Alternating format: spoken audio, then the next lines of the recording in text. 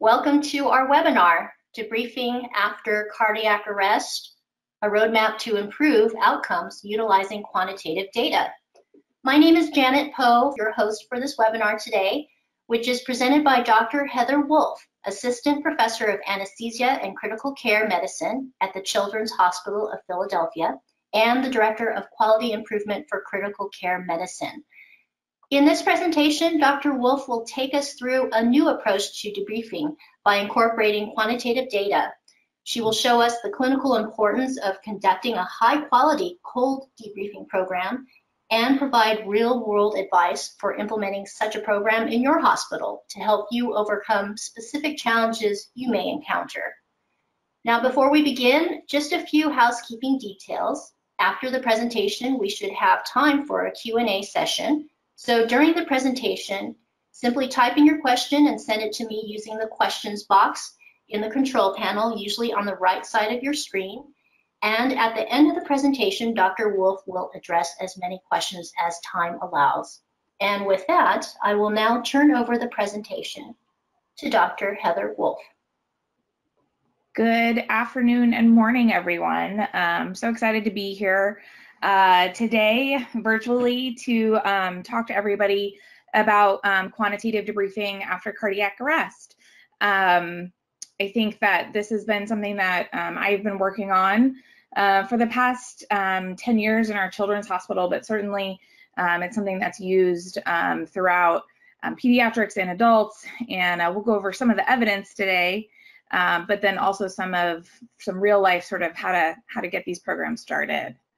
Um, so first, just to get everybody on the same page, um, what is debriefing? Um, so one of the classic definitions of debriefing is a facilitator-led participant discussion of events with reflection and assimilation of activities. Um, it, this is, you know, most classically done um, in um, sports. So uh, quarterbacks every day will look at the tape and look at what they did. They'll go over it with their coach and they'll improve their performance for the next time. Um, debriefing is also performed in aviation and has recently been um, picking up steam in healthcare and is now actually recommended by the American Heart Association um, to have a debriefing program as a part of the comprehensive care of cardiac arrest patients. Um, we still have a lot to learn about the structure, um, attendance, and content in these sessions and how they can um, help improve uh, outcomes.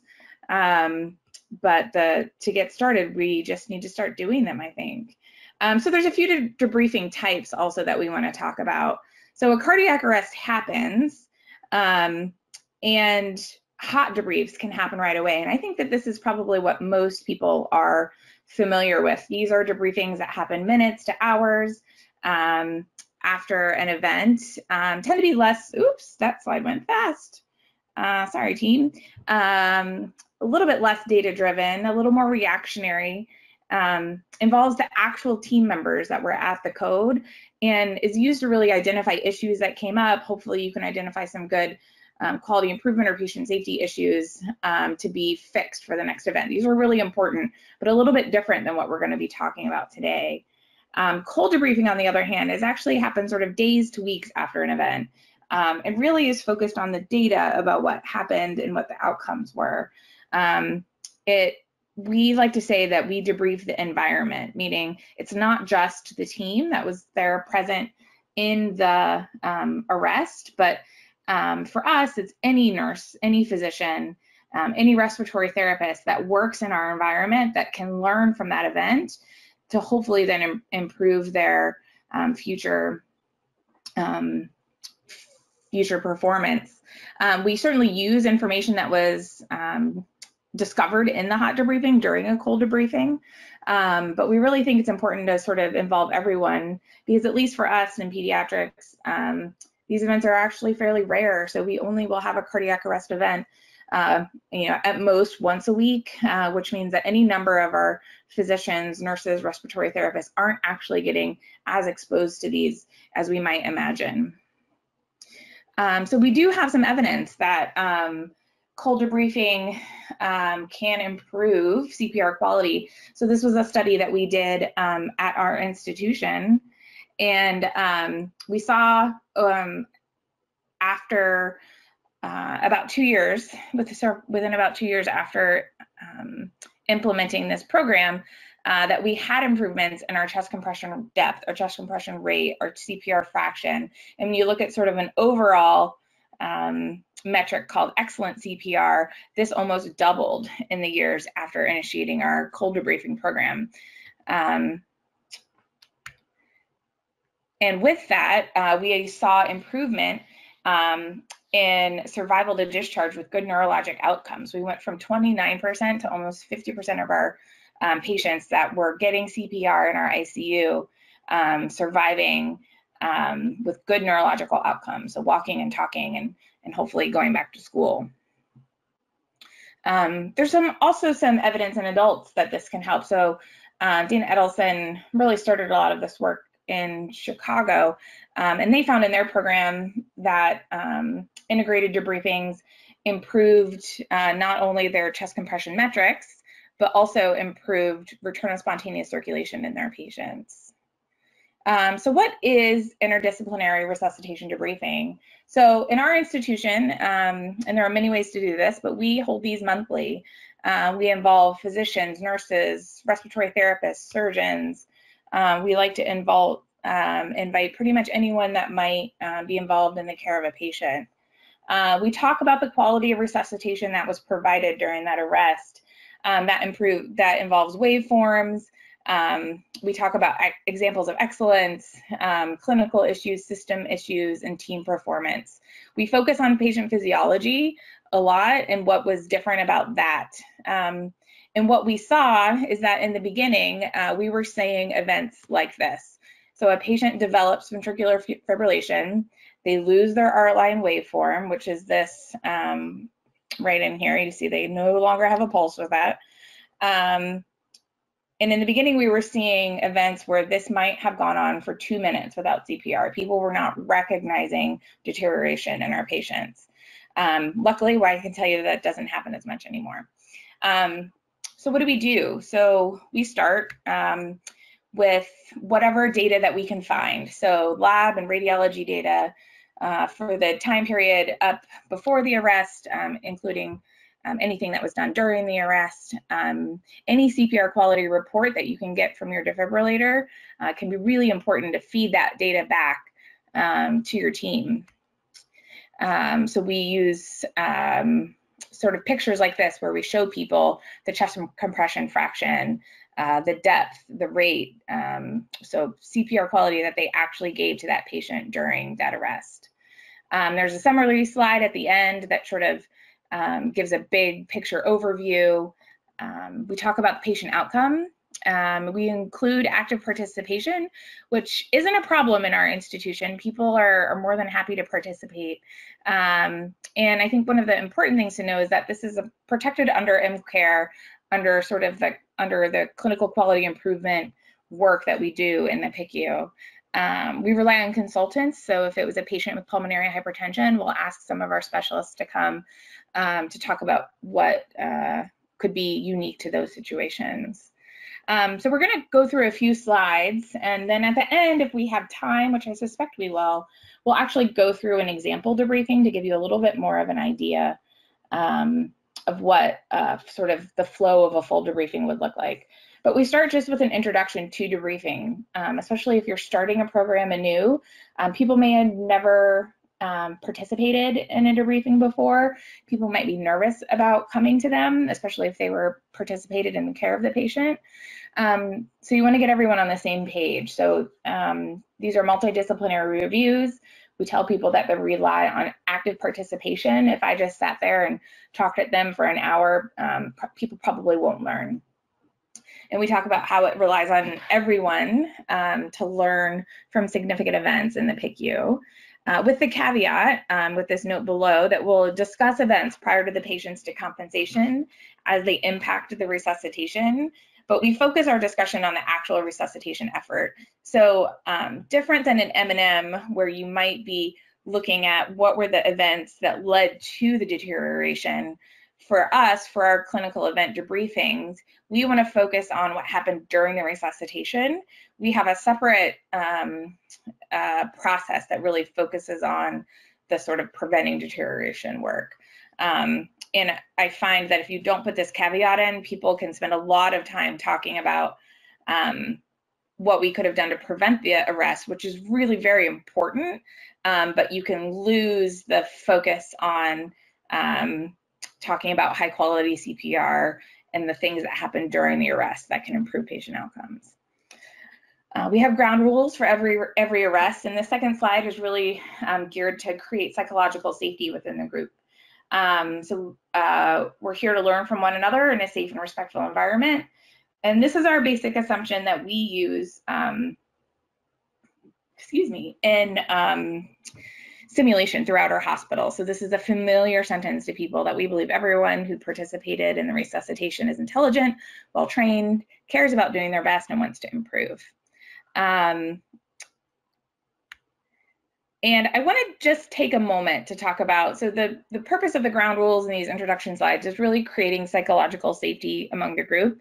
Um, I'm going to take a, a minute just to talk about psychological safety because I think it is probably one of the most important things that a group needs to have um, to really learn from um, and have sort of a positive experience with debriefing. Um, so psychological safety is really a shared belief held by members of a team um, that the team is safe for interpersonal risk taking. In psychologically safe teams, team members feel accepted and respected and comfortable speaking up without fear of retribution. Um, Amy Edmondson does a lot of really interesting work from Harvard about psychological safety, and I would encourage everybody to read her books because they're fantastic. And really, what she talks about is she talks about these sort of grids where you have psychological safety here, and then sort of what is how demanding is a task. If something is easy, um, and you don't have a lot of psychological safety about it, you're sort of apathetic toward that thing. You don't care that much about it. Um, and if it's easy and you have a lot of psychological safety driving your car, for instance, um, that's a comfort zone. You can do that in, on autopilot almost. Um, however, though, as tasks get more demanding, you can enter this anxiety zone if you don't have psychological safety, meaning that you're trying to process things, your brain is working in overdrive, and if you're not feeling safe, what is going to happen is you're going to get develop a lot of anxiety and not learn. And the goal really is to be in this learning zone um, where you have psychological safety, you can take risks, you can ask questions about things you don't know, um, or bring up things that may have not gone right in that arrest um, without the sort of fear of retribution for that team. Um, so the goal is to stay in the learning zone during these debriefings.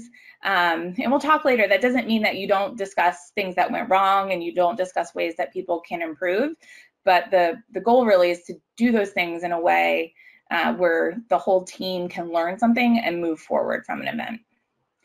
Um, and I thought this was a really great sort of statement that drew all this together, but healthcare professionals take psychological risks when they allow their performance to be watched and analyzed by peers and instructors. So developing and maintaining a psychologically safe environment is important uh, for people to be able to um, learn and grow. So that's all. I could talk about this all day. Um, feel free uh, to, to catch me later about this. Um, so during our debriefings, we keep our providers anonymous. We don't call people out um, about who was in the event or who was leading an event, but often people will self-identify, and we let them do that, um, but we certainly would never call them out. Um, and when you talk about debriefing, um, the facilitator of the debriefing is going to lead the team through the discussion, um, but the person has to be fairly um, adept at managing the room. So depending on the audience um, and the participants, there's a wide variety of experience and comfort with resuscitation. Uh, from, you know, it's July, so there's first day interns who've never been in a code before to very experienced senior attendings who have been through 100 or 200 codes or 1,000 codes in their life. Um, so you have to sort of manage um, all of those um, levels of experience and comfort, um, along with people who may not believe in the process, um, may not uh, sort of think that they know it all and have all of the answers. Um, there's people that just don't engage. And I think the most common thing that happens is people who sort of are the perfectionist and they just talk over and over again about, you know, what they could have done differently. Um, and that's not really the point of a debriefing. So you sort of have to be able to steer people away from these conversations um, and be pretty comfortable. You know, oftentimes the people who start these programs and run these programs tend to be junior. So you have to pick someone who's going to be willing to sort of tell their boss that uh, that's an interesting point, but we're going to have to move on now, um, which comes over time. Uh, but really, I think what we spend a lot of time in debriefings doing is finding the good in every event. So the majority of codes and emergency events that happen have a lot that went right. Um, I found that focusing on what went well really reinforces that behavior for the rest of the room. So if the team was doing a really good job with switches and counting down um, and having really short switch times, sort of talking in the room about, well, what were you doing that would enabled you to have really low um, no flow time between switches? And it may be that they were counting, it might be how they set the room up, um, but sort of talking through that with people that weren't there can help them then for the next code um, do that behavior well as, um, as well. Um, and then you have to address the difficulties that came. So um, there's a lot that went well and there's a lot of positive things that you'll talk about, but the only way to get better is uh, to talk about things that didn't go well. Uh, the things that we find, um, at least in our institution, that we have troubles with um, is rhythm analysis. Uh, we forget sometimes to look back because PEA and um, is so common in our population in asystole that we sometimes forget to look for ventricular fibrillation. Uh, we also have a lot of cognitive biases. We know some of these patients well. You think you know what's going on and maybe something else is happening or delay in shock or delay in starting CPR was certainly something that we saw um, in the beginning of this. Um, so rather than sort of being hypercritical and saying, well, there was a two minute pause and this was terrible and this patient died because of this, you know, the way we would approach this is say um, there was a prolonged downtime uh, prior to the start of CPR. So let's discuss what led to that and how we can prevent it from happening in the future. Um, and for, exist, uh, for example, sort of a recent um, scenario was a nurse that just thought that there was something wrong with the arterial line, and that is why. Um, so she was she spent some time troubleshooting the arterial line before calling the code. So we were able to sort of talk to everyone in the room about um, you know, using all of your vital signs. If it's not, if it's the art line's not working, look at your pulse ox, look at your heart rate, look at it, uh, sort of all of the data you have. Um, and then sometimes things happen in codes that are really, really bad. So either there was a serious safety event that happened that led to the code, or there was just something that happened during the code um, that was very traumatic, or um, or actual medical errors were um, happen during the code. This is not very often um, and can be challenging in front of a whole group. So the way that we've addressed this in the past is we just sort of discuss these problems with the parties that were involved offline and find out if they're comfortable presenting this to the group. Oftentimes they will be. There's only been once in my entire sort of experience with debriefing in the last 10 years that someone said, no, this is just not the right event to debrief. Um, we sort of pick one event and debrief it every month. So there's always other things to choose from. And then we sort of let our um, medical error process um, take over. So we'll have our RCA group come in and work on this code rather than do a debriefing on this. Um, so there are the biggest um, issues that come up as barriers for debriefing um, are fairly consistent throughout most institutions that I've talked to about this. So with hot debriefing, the barriers tend to be finding time within the hours of the event. So I found talking to people that this is sometimes easier in emergency departments where um, patients come in, they have their event, and either they leave to go to an ICU or the operating room, or they stay, or they have passed away. So there's sort of this natural downtime that ends at the end of every event where teams can come together. Um, that doesn't always happen in the ICU. So oftentimes if the patient survives, the team is really busy taking care of the patient. Oh, excuse me. Um, and um, it's hard to find time before the end of your shift to talk Um, for hot debriefings, we don't have data um, available immediately. Um, so people sometimes are hesitant to talk about what happened because their memories just aren't that great. Um, for cold debriefing, the barriers are similar. Um, time tends to be the biggest barrier for everyone. Um, it's hard to find a time that works for everyone in a group. Um, and it's hard for people that attended the event to actually attend the cold debriefing, say if it were a night shift nurse that can't come to the daytime. There are ways, of course, to work around this, um, which we'll talk about sort of later in the um, in the talk. Uh, so how do you start a program? So if you think that you know debriefing may be the thing that you're missing, that may help sort of kick your quality of CPR and outcomes up in your institution. Um, these are the, this is where sort of we started um, and have moved along the way. So certainly discussing with your um, team leadership, with your um, institutional leadership um, to make sure you have support for them. And unfortunately, I think one of the most important steps is actually discussing this with the lawyers within your institution. Every institution that I've worked with has had some different caveats about how they would want something like this to proceed. But what you want to make sure is that your uh, discussions are MCARE protected so that nothing that is said in these events can ever be sort of um, looked at from a legal standpoint down the road. Um, find a time that the most can attend. There's never going to be a time where everyone can attend. And I've also always found that if you're able to feed the people that come to the meeting, they're more likely to come. Um, and then after that, having a follow-up plan. So nothing is going to discourage a team more than if you're constantly identifying system issues in cold or hot debriefings and don't or can't fix them within your institution.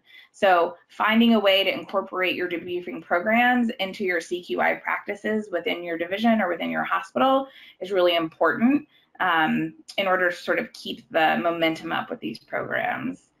Uh, the other thing that we have been able to do that's been very successful for us um, at maintaining physician attendance is offering MOC points. Um, so maintenance of certification is something that um, the type four points around quality improvement projects is challenging for many physicians to get.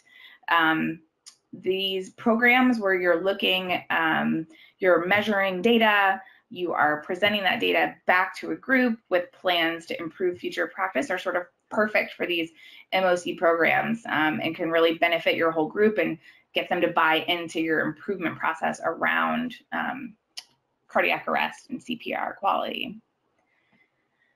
And then I get a lot of can'ts. So, um, you know, this is the reason that we can't do this in our institution.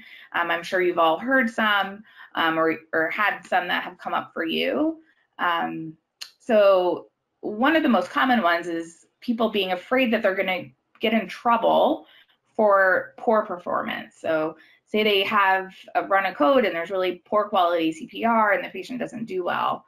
Uh, they don't want that to be reviewed because they don't want to get in trouble for it. So, you know, a few things I would say about that is one, people should never be, um, so using this sort of quality data, um, the goal is to have it um, be used for future improvement and not for punishment um, this often can reflect a culture problem within, within the institution itself. Um, and maybe you need to take a step back and, and really sort of um, change the focus around the program um, and really sort of have people feel more comfortable with it. Um, put the goal back on the patient and the outcome. Um, really, we're not trying to measure or punish people. this is really about improving care for patients.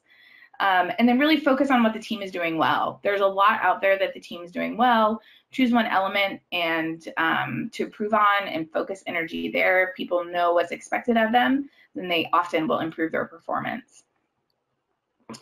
Uh, no one has the time for this, which is, is true. We all are busy. There's a lot of competing priorities. Um, but I think we have enough evidence now that says that delivering high quality CPR within the hospital can improve outcomes for patients. So I think that this should be um, at the top of everyone's list of things that they would want to improve. Um, if there's a way how you can sort of figure out how to incorporate debriefing, cold debriefing or hot debriefing into um, your code committee, your review process. There's there has to be some process in every ho hospital um, for reviewing codes, especially codes that occur at the ICU. So if you can't um, come up with a time where you're spending a whole hour with a group um, doing a debriefing, um, how can you incorporate this into other workflow? So maybe you can display your CPR data within an M&M, or maybe you can come up with a way that at your code committee review meetings that you're actually looking at the data um, that can come out of your defibrillator, which is just such useful information, um, rather than just letting that all sit um, in the machine and go unseen. Um, or maybe you have a, an educational case conference that this can be worked into. Um, anywhere that you can get this data sort of in front of people so that they can see how they're doing and hopefully improve later. Um, so that's sort of the setup to everything. Um, what I have in the next few slides um, are an example code review that we did in our institution. Um, it has been de-identified and uh, I changed some of the events, so it can't be traced back really to any of our patients. Um, so we're gonna go through this and then I think we'll have ample time really uh, at the end of the call for uh, lots of questions and answers. Um, so we've seen this slide before. This is our ground rules that we start with. Uh, this is the outline. So we talk very briefly about pre-arrest case presentation. We do a review of the arrest and then the post-arrest course. So uh, this case started when the, the a code was called um, uh, in our within our ICU complex. Um, the patient was a three-year-old who had multiple chronic medical problems. Um, she had chronic respiratory failure, a tracheostomy, and a ventilator, and was hospitalized with worsening lung disease and developed new subcutaneous emphysema within the last 24 hours. Um, the nurse called the team when she noted uh, bradycardia, bradycardia pallor, and she became unresponsive and activated a code. Uh, chest compressions were underway when the code team arrived, which was great. Um, she initially had a rhythm that was bradycardia with poor perfusion that progressed then to PEA and asystole. Um, so in this, so this is really all the data we give, um, sort of going into a code. We really want to sort of get into it um, and see what the team is thinking. So um, this, uh, I should also say, I haven't mentioned this at this point, um, the people who lead our code reviews, um, our cardiac arrest debriefings, are fellows. Um, so it's a great educational opportunity for them to um, think through this, but then also sort of teach uh, their co-fellows um, about the code process. So uh, our, we did have a fellow that was leading this event, and we were able to sort of say, well, what was your thought process?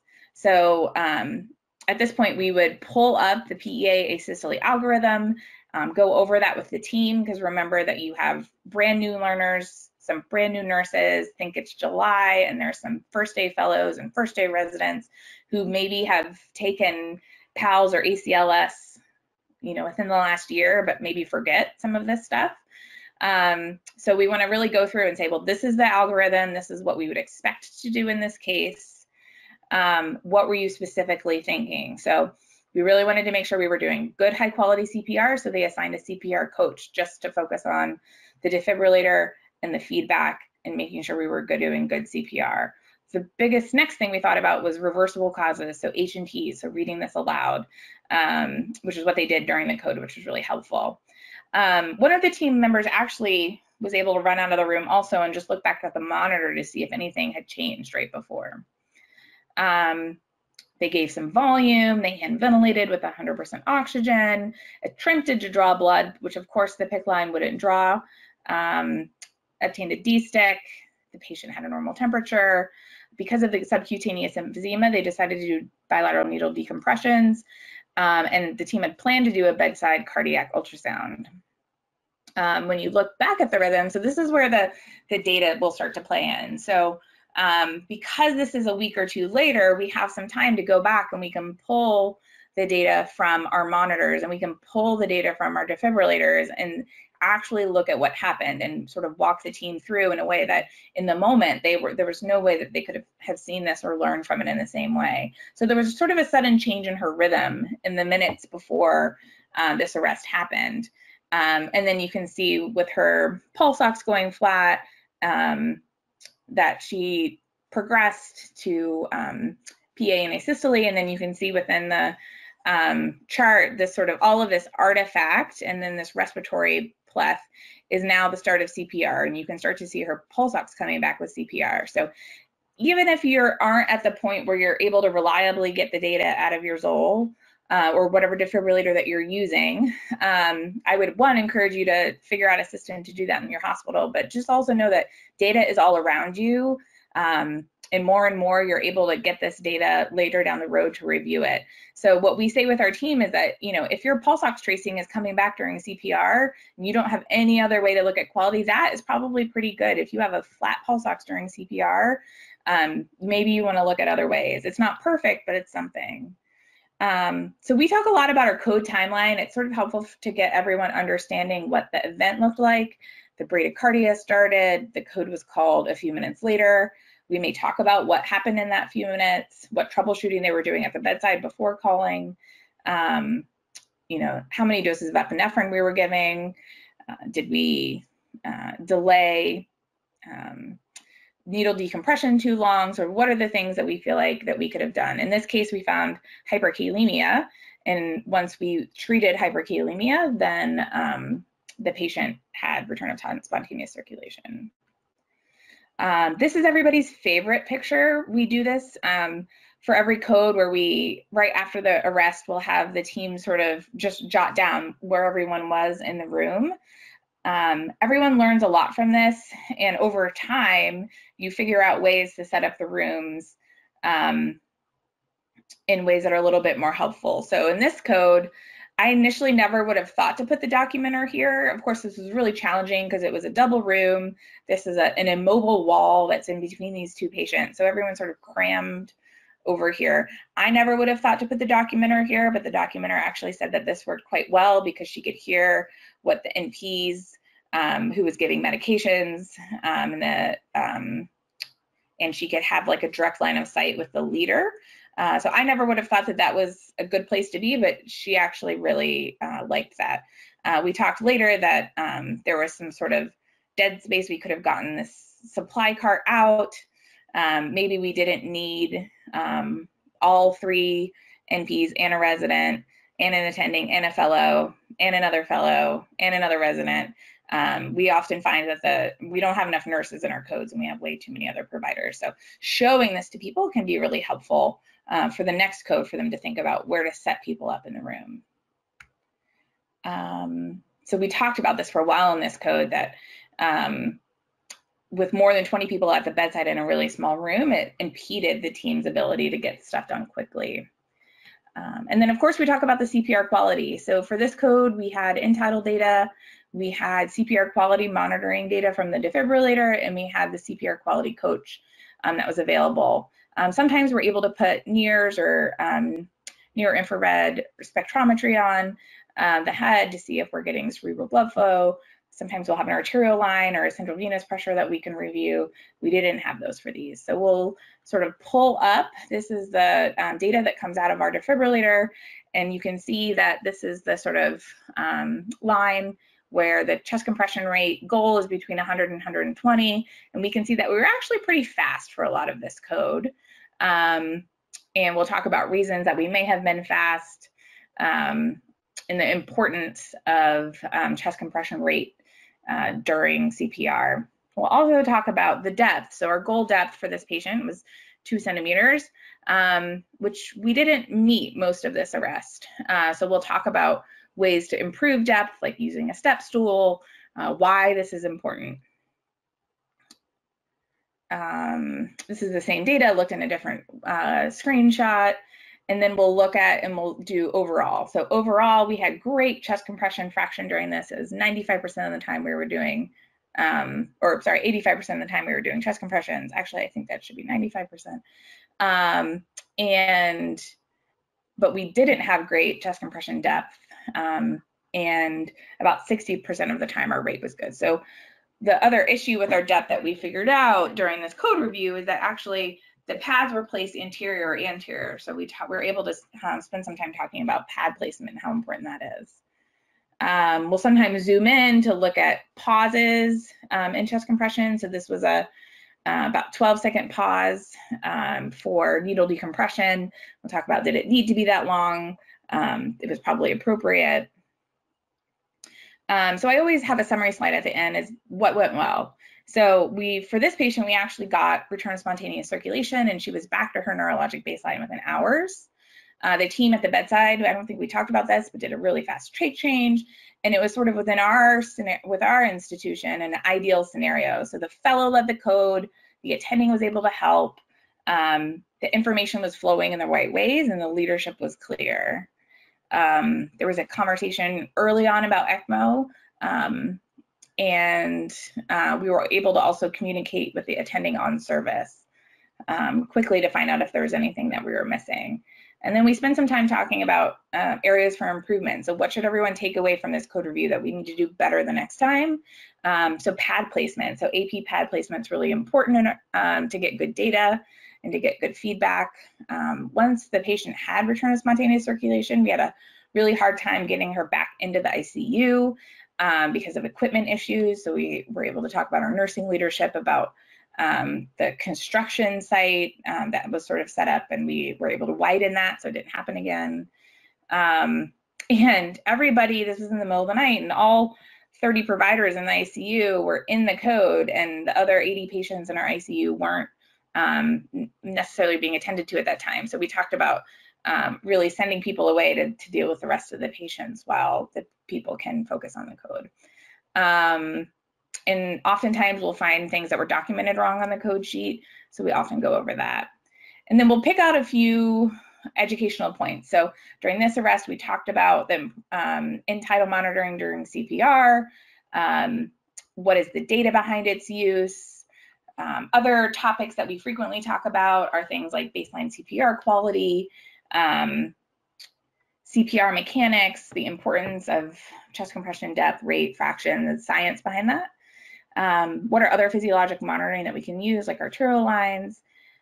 Uh, some some of our debriefings, if the patient has ROSC, will focus a lot on post-cardiac arrest care, um, treatment of arrhythmias, cardiac arrest um, in pulmonary hemorrhage, and the some really we've had some really interesting debriefings where our trauma team has come and really talked about trauma-related cardiac arrest management and how that's different than the rest of our arrests. Um, and then we've always finished with a patient update. Um, so how do you get started? If you think that this is, you know, something that may be helpful, I would say the first thing that you need outside of sort of support from your division hospital is data. Um, there is evidence exists that now and hopefully more that's coming that these projects really do improve um, patient care and patient outcomes. Um, getting an MOC program started might improve your physician um, buy-in um, and um, you know finding someone who understands how to use the data to like walk you through that the first time whether or not it's your representative who maybe understands how to get the data out of your machines or someone else who has um, more more experience using them um, i would say incorporate trainees this is a great learning experience for trainees um, it gets them involved in quality improvement, which is really fantastic, and really create a small group um, that owns this together. So a program based on one person will almost always fail. Um, people take vacations, people are on clinical time, um, things happen in life where you may need to be away for six months. And if you're relying on one person to run a program like this, their program will immediately fall apart. So we have a, a core of probably three or four attendings who help run these meetings even though they only happen once a month. Um, sometimes that's not enough. Um, and then a really great group of nurses and respiratory therapists who help us run these meetings too. So um, that can be really, uh, really helpful to have a, a group working on this. Um, and with that, I say thanks for listening. Um, everyone seemed to have stuck around to the end, which I'm really excited about. And I think we have um, a good amount of time for questions if anyone has any.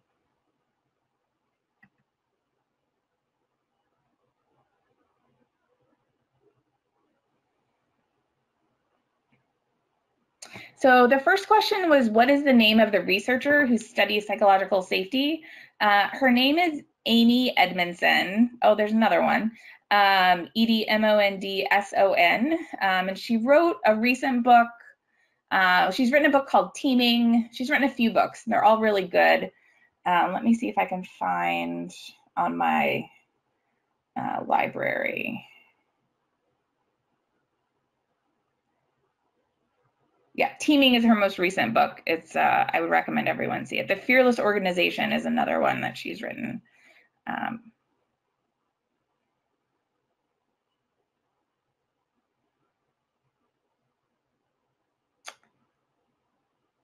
so the next question is what, defibrill what defibrillators manufacturer model are you using and with what feedback pads? Uh, so that's a great question. So right now we um, are using the Zoll R series. Um, and because we are a pediatric institution, we have three different sets of pads um, because of the various size of our patients. Um, I don't have the exact pads on me, but uh, we use the PD pads and then the adult AP pads. Um,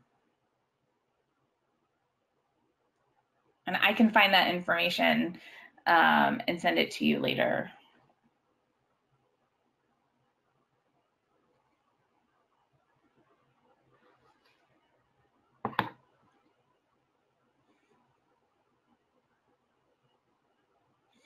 Okay, here we go. Four questions from one person. That's fantastic.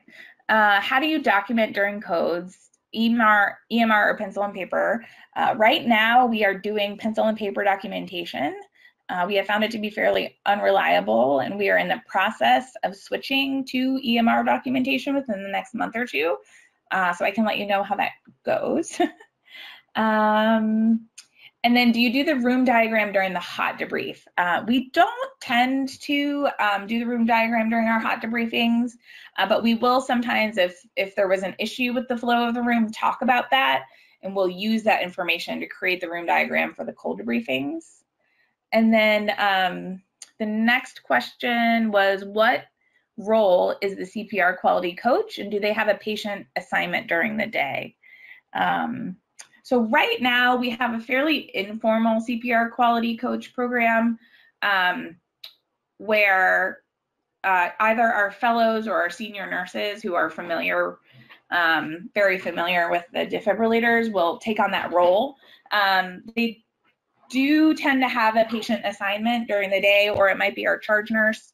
Um, oftentimes, the um, CPR quality coach is um, one of our fellows. So we're, you know, lucky enough or um, to have a really big unit. So we have, you know, um, 90 patients um, probably on our floor, or at least that's the maximum. So we tend to have two or three fellows, two or three nurse practitioners around during the day. So if the fellow that's not running the code also can take, or one of the nurse practitioners will take over that CPR quality coach role. Um, but there's certainly a lot of room to organize that a lot more, I think.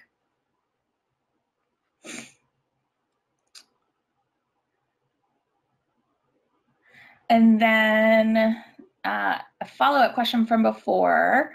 Um, it's what suite or software application do you use for data collection and extraction?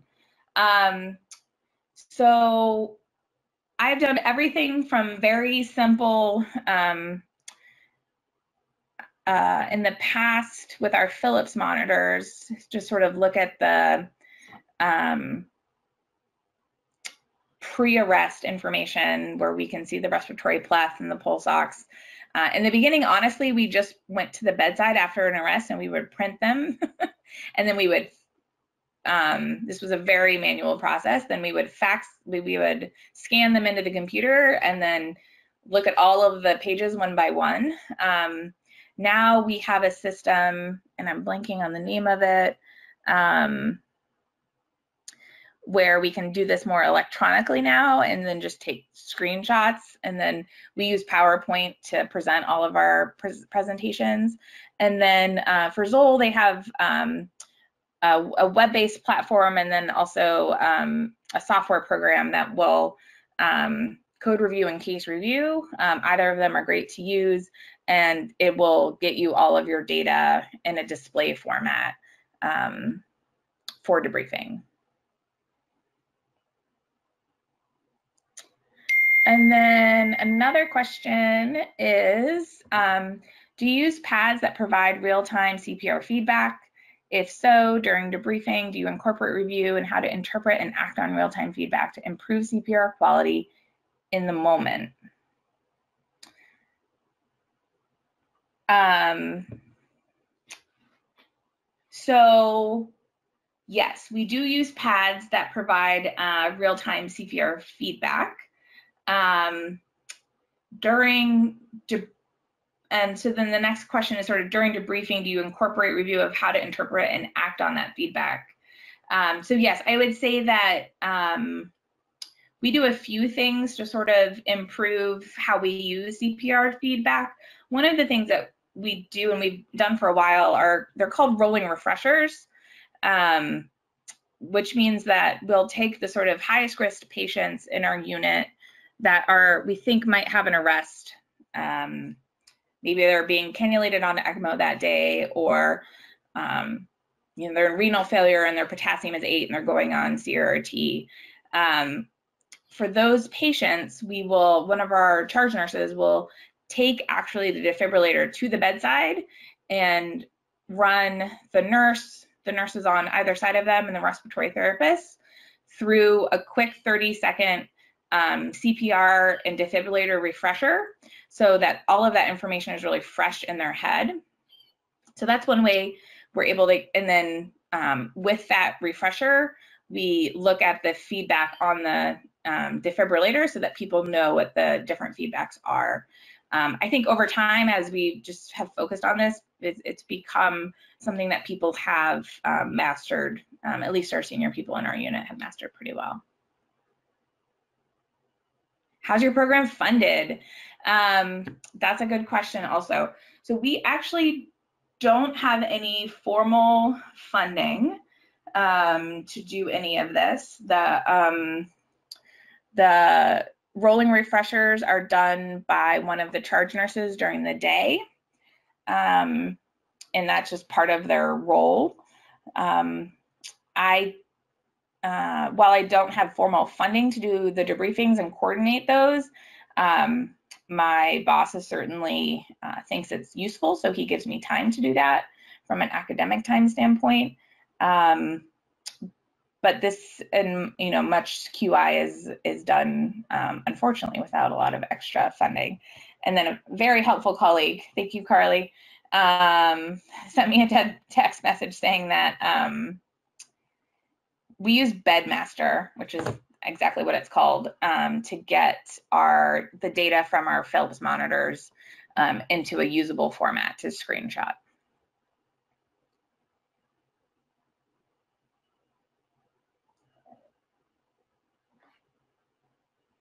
Uh, okay, next question. Are hospital CPR quality is objectively poor to the point where many clinicians don't believe it's accurate? How might you suggest we overcome this? Um, so that's a really good point. And I'll have to say that um, we uh, believe the feedback um, in our institution, um, although we struggle because with our smaller children, especially the sort of one year to five year range, we are frequently finding that um, we feel like we're compressing to adequate um, depth when you look at the depth of the chest, or if we have an art line in at the same time, we're able to see that we're getting good blood pressures of 90 over 60 with the chest compressions we're doing, but we're not necessarily compressing that deep if you actually look at the depth. Um, so I think there's a, a few things um, uh, that you that we have done. So I think there are some things that are very reliable. So the chest compression rate um, in the defibrillators is is quite reliable. Um, the depth is also so i think one it's making sure everyone is putting the pads on correctly because if the pads aren't on exactly ap sometimes you won't um, get as good of feedback and measurements. Um, so improving that might help. I think just also showing people over and over and over, and especially if you do have um, an event where actually the CPR quality was really good for a period of time, um, people are sort of willing to believe good things, but not always the bad things. So if you can at least get them bought into the fact that um, some of the CPR quality is good, which means that sometimes it's not good, um, that they also will improve. Um, but that's that's a really hard one, and it really just has to do with buy-in. And I think over time, if you just keep showing them and showing them and showing them, um, uh, people hopefully will get on board. Uh, next question was, do you have a template you use for the case reviews?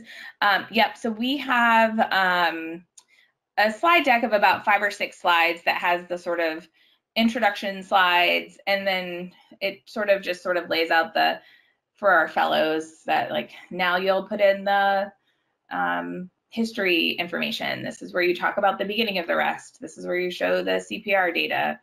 Um, so we have that. The other thing that is um, helpful and we can make available is um, one of my colleagues, Carly Zebuhr, actually wrote up our initial uh, work with um, creating uh, the debriefing program that walks through um, all the parts of the debriefing program as well as the um, clinical um, points that we work. And that is published um, a while back now, but we can get the information for that also.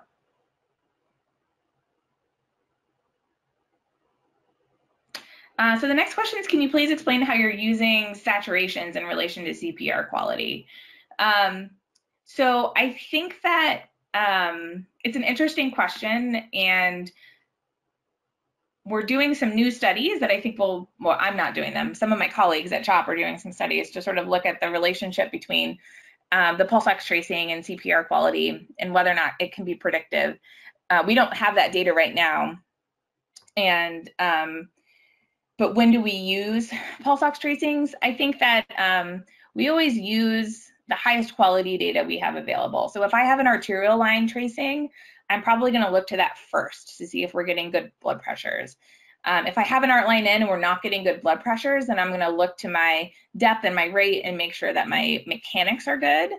Um, if I don't have any of that, so say that we're in the um, we're in the unit and the patient doesn't have an art line and we don't have the CPR defibrillator pads on yet, then I'll use anything I have. So I will look up at the monitor and there's two things that can be helpful that I found is that the respiratory pleth um, screen tends to actually be a pretty good um, reflection of the chest compression rate for us. So if the respiratory pleth says you're going 100 times a minute, that's probably your chest compression rate, which can be helpful. And then um, what we'll say is that if you if you've gotten a pulse ox tracing back, then you're probably doing a pretty good job, but you can't really say that um, if it's there or not that you that you're actually um, you know hitting um, targets. But I think there will be some more interesting information in the next few years coming out about that.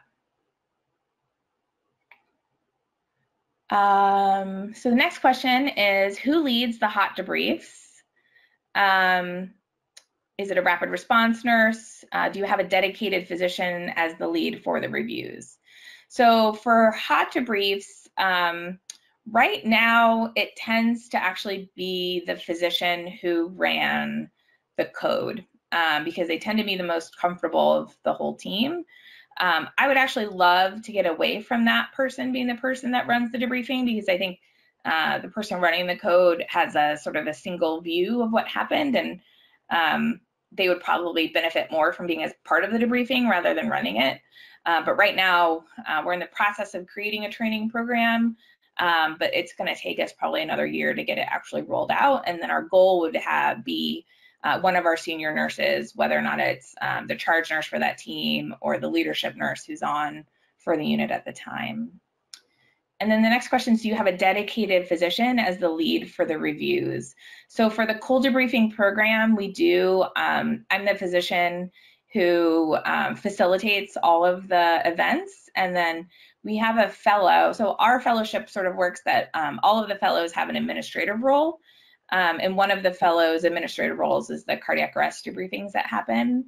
Um, so, and then that person works with other fellows to sort of create the the reviews um, and the learning points from each event. Um, and we actually have a sort of a small group um, that does that. Um, the next question is, can you speak a little more about CPR coaches? Do you address the psychological impact of these events with staff during, um, at all during your debriefs? Um, so CPR coaches is um, an idea that's been around for a while. Um, really, the one of the pioneers in CPR coaching is Betsy Hunt at Hopkins, um, at Johns Hopkins, and um, they just published a great paper. Uh, I think in the Journal of the American Heart Association, looking at a randomized controlled trial in a simulation setting, looking at the impact of CPR coaches on CPR quality. Uh, and the teams that had a dedicated CPR coach so someone whose role during the code is to um, look at the uh, defibrillator and communicate with the chest compressors um, what they need to be doing differently. Some people can look at the feedback but not process it. Some people are sort of auditory processors, so they need to hear someone say push faster, push deeper. Um, some people do better seeing, so everyone's a little different. Um, and I think there are is going to be a study, hopefully, of looking at CPR coaches in real life to see if they improve quality of CPR during actual um, cardiac arrest. So I think it can be a good role um, if you have extra people, uh, which we frequently do. So give someone a job. Um, the next question is, do you address the psychological impact of these events with staff at all during your debriefs? Um, so I think psycholo- the psychological impact naturally comes up a lot during our hot debriefings.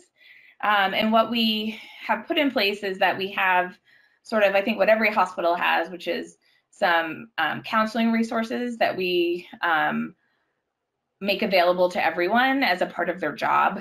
Um, we don't expect our debriefers or any of our staff to be able to, um, you know, take on that role. But I think what we will say is what I will say is that, uh, you know, especially for myself, um, and especially I think this is probably true in pediatrics and a lot of adult hospitals, is that um, sometimes patients arrest that you have long-standing relationships with, um, kids that have been in the unit for a long time, or adults that have been um, that you've taken care of, you know, over the years, um, and those can be really hard for people.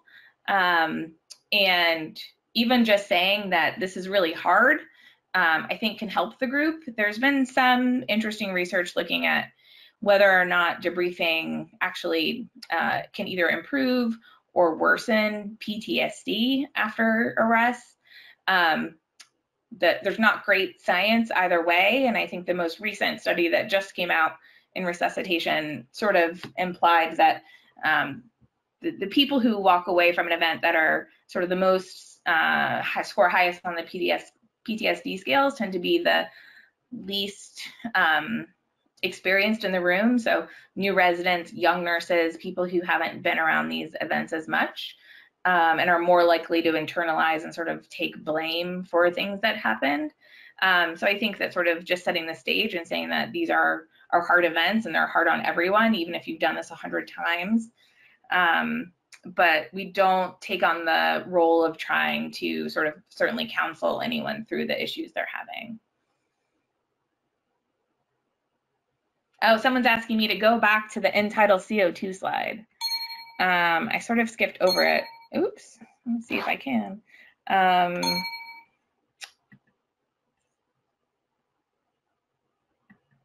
yes, and I think the uh, I will double check, but I do think the slide deck will be available. Uh, I'm trying to go backwards. Oh, there we go. Um, okay, so um, this is this uh, one of the slides I've put together in the past about end-tidal CO2 as being a surrogate for cardiac output.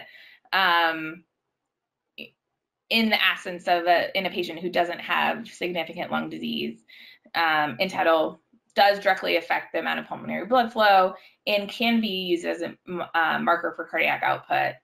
Um, so changes in CPR quality that improve or worsen cardiac input can accordingly affect end-tidal.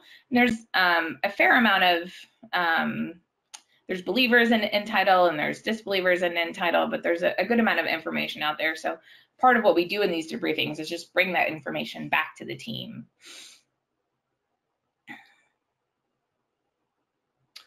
Uh, okay, and I think this will probably be the last question we do, but um, do you have any recommendations for those of us who may not have the defibrillators to pull depth and or data?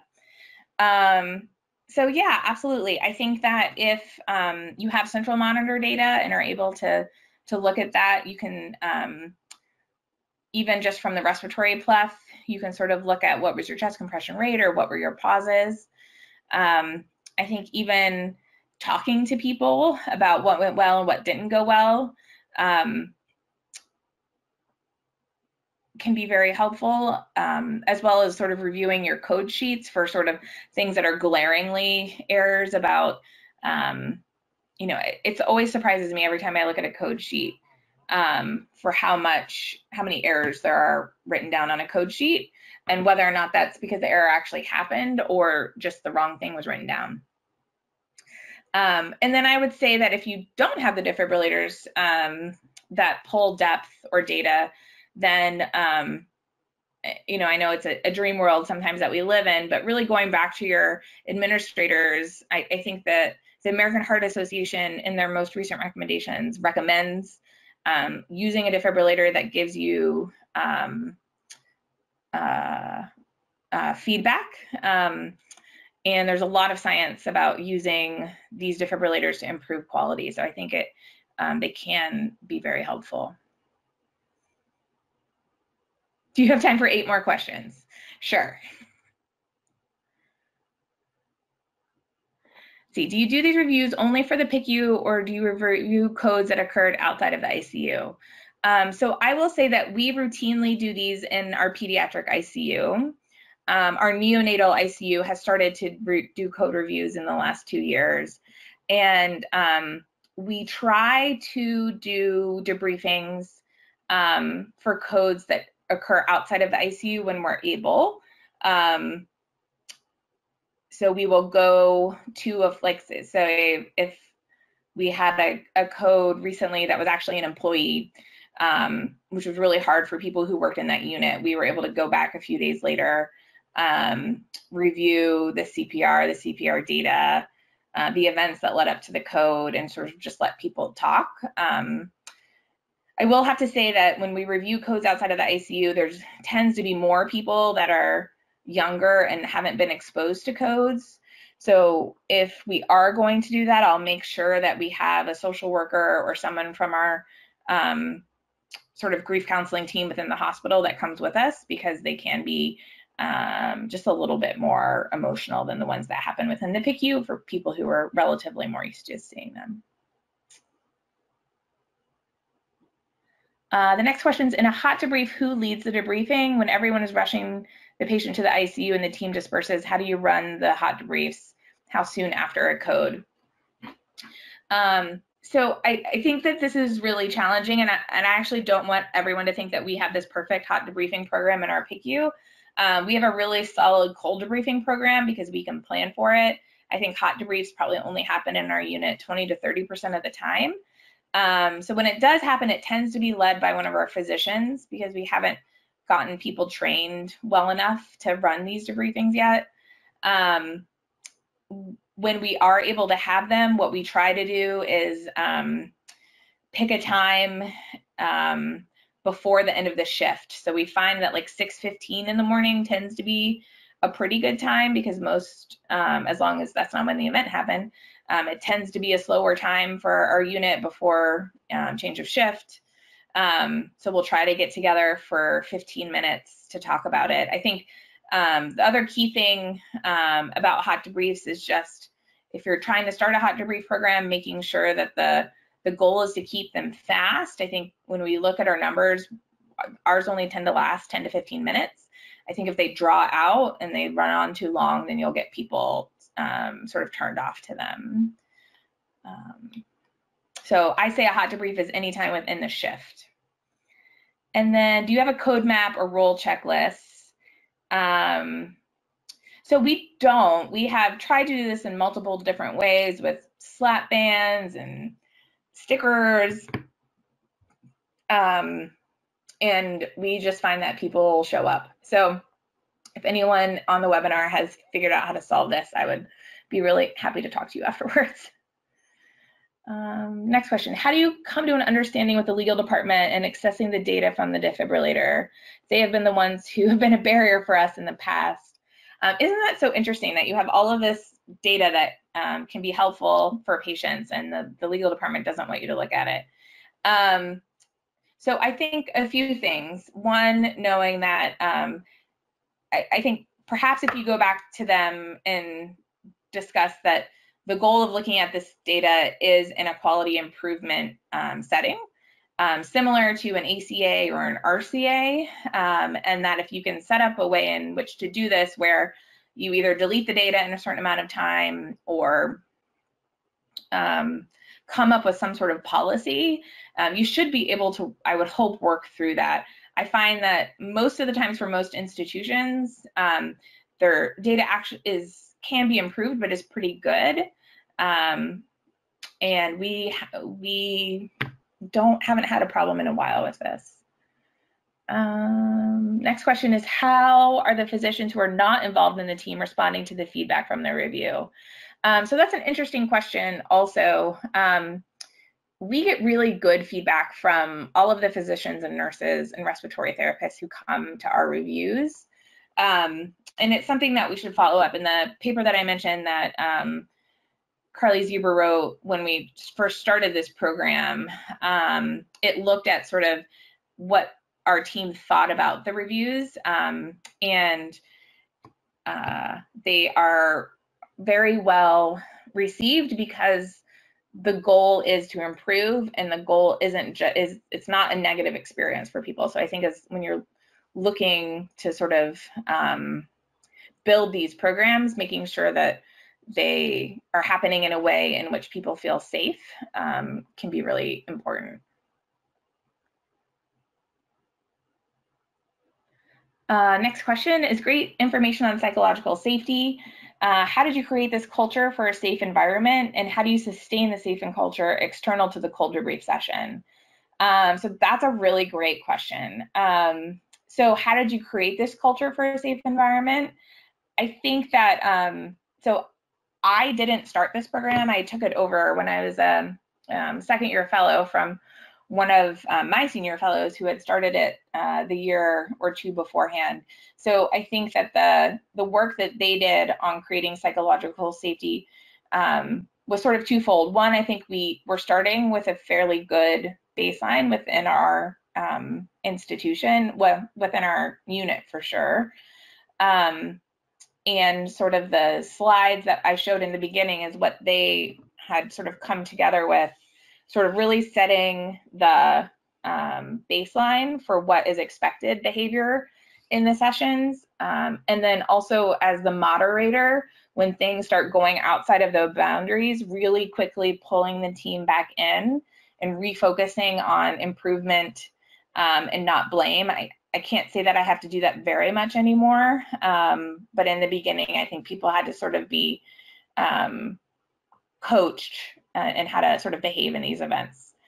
Um, and then the question about how do you sustain the safe culture external to the cold debriefing session, um, I think that is it's such it's such an important question, and I don't know that we have uh, mastered that.